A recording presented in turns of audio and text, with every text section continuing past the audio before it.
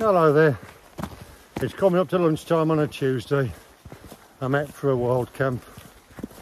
We've had a couple of change of plans due to the weather and circumstances, so we were going to explore the Simonside and, and do a, a long walk into Harwood and split the cars over two areas, but due to circumstances, we're just doing a Harwood. It's coming bad with the weather, so it's not a bad thing. So there's Graham there. Hi I'm out, I'm out with Graham. check out my YouTube channel. It's nearly as good as Adrian's. He's pushing himself there. It's a bit cheeky, isn't it? He'll have his own video out. But uh, so we'll uh, get ourselves set up and we'll come back to you. Right,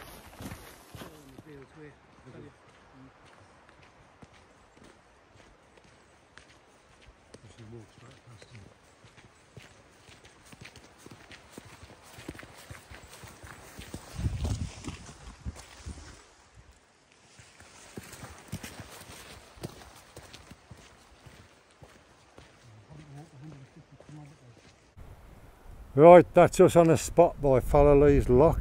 Lovely spot. There's Graham. Now look at these rucksacks. I've carried 18.9 kilos today, including three litres of water. Because obviously I'd, I'd packed water because we were doing a hill walk.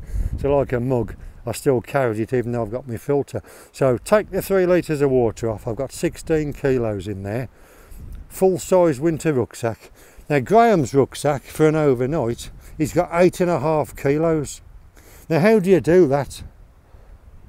I just don't know. I'm either a muppet and I bring too much, or he's very gifted. But I'm going to tip it all out in a minute and have a look.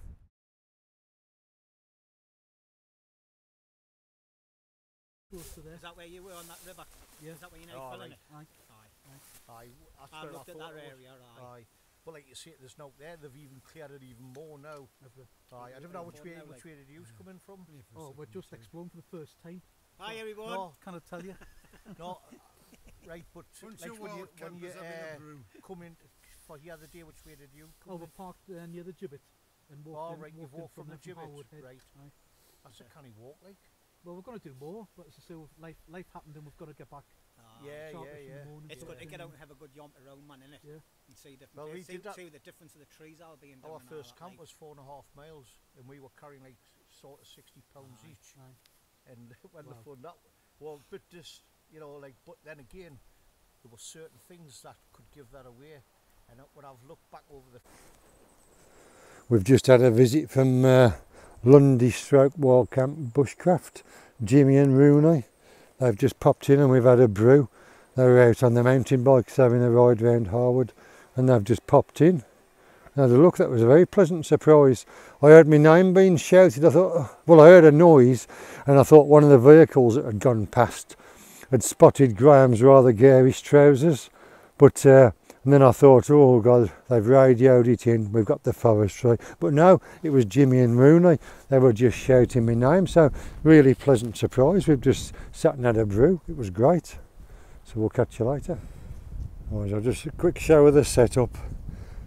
I've got my super light tarp, low profile again because uh, there's been a couple of vehicles going past. I've got my army bivvy, rab sleeping mat, and I've put it on a tonight just for a difference to protect the bottom of the bivvy. I've just put it on a foil mat as well. I've not tidied up yet because I do tend to spread out a bit. And I'm with Graham tonight, so he's got a similar low profile and he's got the Alpkit, Elan bivvy under there, and he's got a low profile as well. The rain's just stopped because we've been hiding from the rain. Got a nice view of the lake. We're just having a little explore in the woods. We're trying to get through to get out to the other side to the bit of a valley, but there's still that many fallen trees. We actually can't get through. But uh, we'll try another route instead. So we're just walking round in the woods exploring, and we found somebody's mess. There's beer can, mess tin, a fire. If you're going to come in here, at least make it tidy when you're finished. Just there. Back from a mooch and we're back up to the bivvies now. It's so stealthy you can't cannot even see where they are. We'll just start to, there they are, look, you can just see them now. Just there.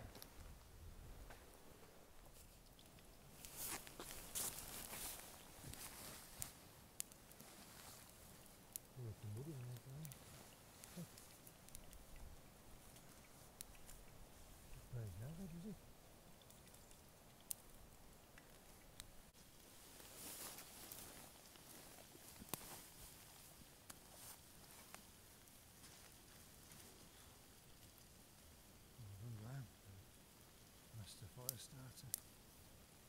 Want me mind me not to fall out with you. No worries.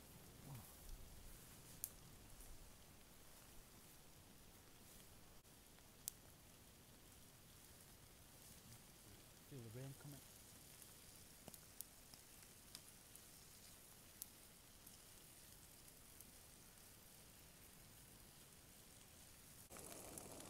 What I'm cooking here, it's a it's a ready mixed frozen packet.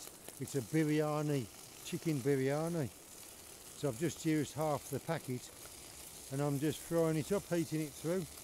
It was out the freezer, it thawed coming up here and then it's just 10 minutes on the uh, frying pan. I'm going to try it as an alternative to the camping meals which are like six or seven quid whereas this is a two two pound 99 bag, half the bag. We'll see how it goes. Well, I've just enjoyed my stir fry, my uh, chicken biryani. It was lovely. So that's a new experience I can have. They do uh, prawn paellas, chicken biryani, and vegetarian options. So uh, I think it was two ninety nine, two seventy five for the package, and you get two dinners out of that. You can't grumble at all. And because I'm with Graham tonight, I bought a a couple of ciders. These are just from Aldi. Cheers anyway. Graham's got a can of beer and a bit of whiskey in a hip flask. And I'm just doing a. Is it gone? I'm just doing a sticky toffee pudding, a Wayfayrer for me pudding. We're in a nice camp.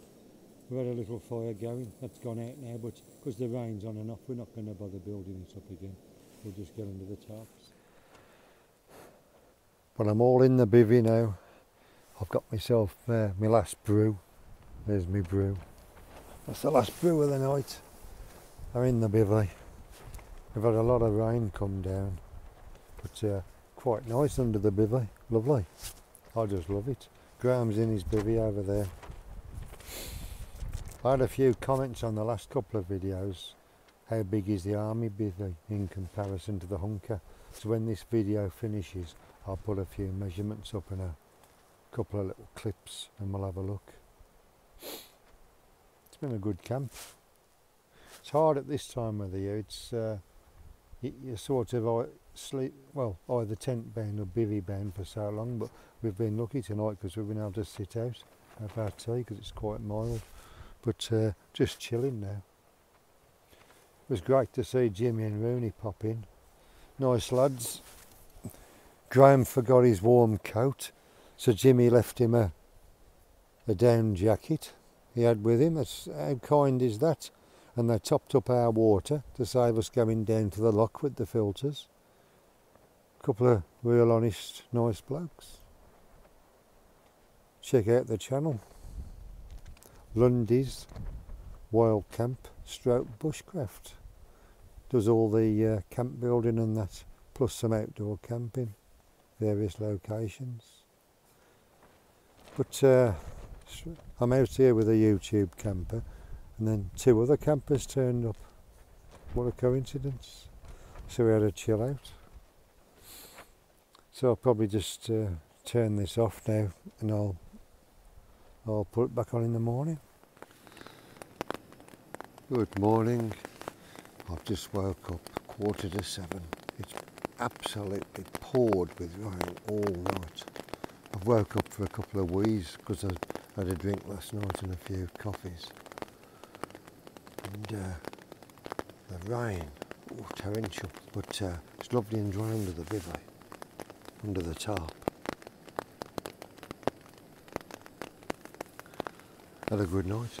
I'm just doing myself a brew eh? now. No sign of any condensation.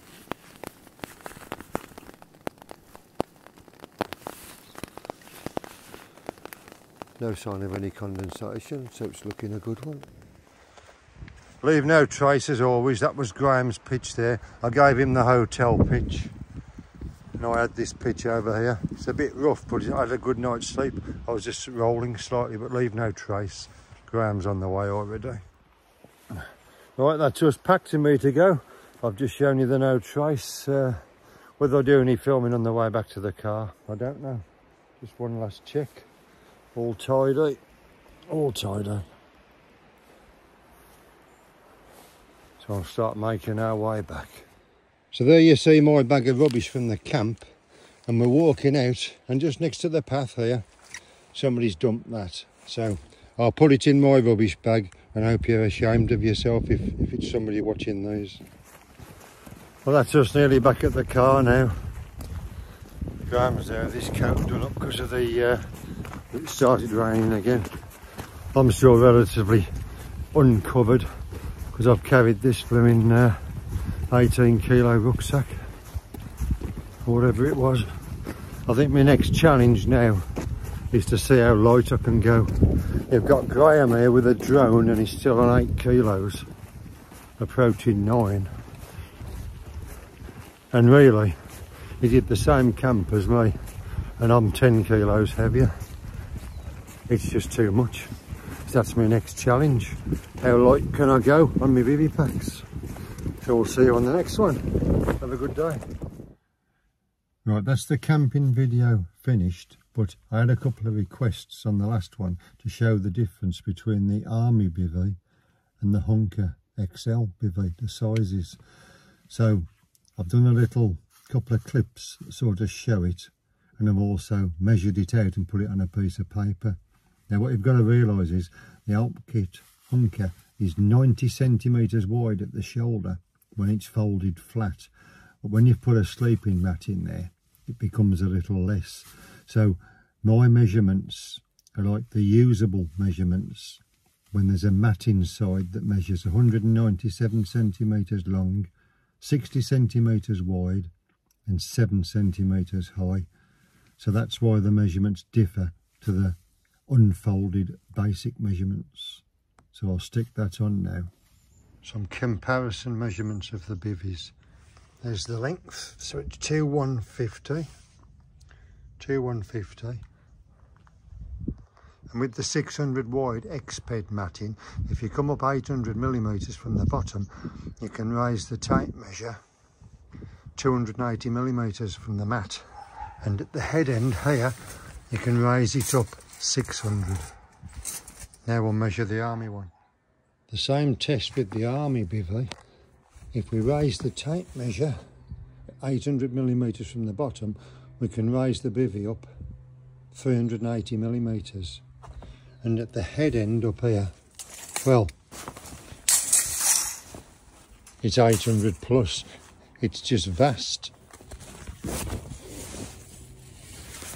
Because on the army bivy, so far up, it starts this pleat here where it comes extra wide. So it really is a, a massive bivy. I'll stick the uh, Alpkit one on top of it and we'll compare. That's the Alp Kit Hunka laid on top of the army bag. You can see at the bottom, it's a fair bit wide to the army bag. It's negligible, I suppose, as you come up. When you start opening them up, that's like the opening on the Hunka. Because the army one, it's just a monster. Massive.